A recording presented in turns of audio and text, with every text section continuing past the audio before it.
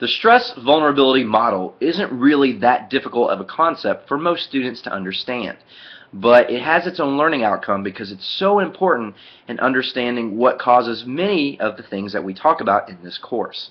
Uh, now, depending on which psychological illness you're talking about, there is a lot of research out there on the potential causes. And there's some evidence that suggests uh, that specific chemicals during pregnancy can cause a disorder, or that experiences during childhood can cause a disorder.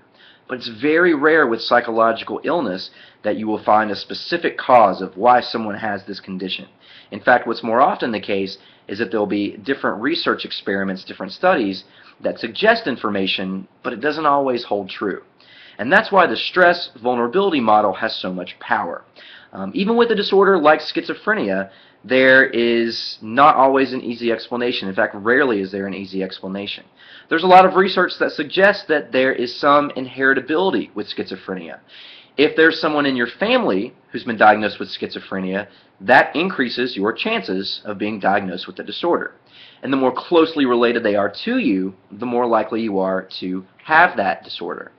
Uh, if you have an identical twin with schizophrenia, that greatly increases your chances of developing the illness or being diagnosed with the illness uh, to about 50%, which is huge when you consider that just the average rate of schizophrenia is 1 out of 100.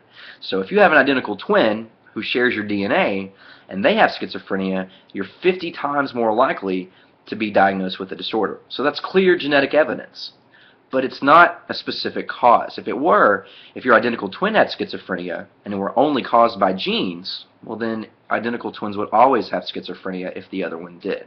We'd have a 100% rate, but we don't. We only have about 50. So what that suggests is the stress vulnerability model, which says that there may be, and there looks to be, a lot of genetic influence on several of these psychological illnesses. But something happens in someone's life, in their environment, whether it's their early childhood or whether it's some traumatic event as an adult, that either triggers the disease or doesn't. And that's why we have some people who might have a gene who don't display the illness, and some people do.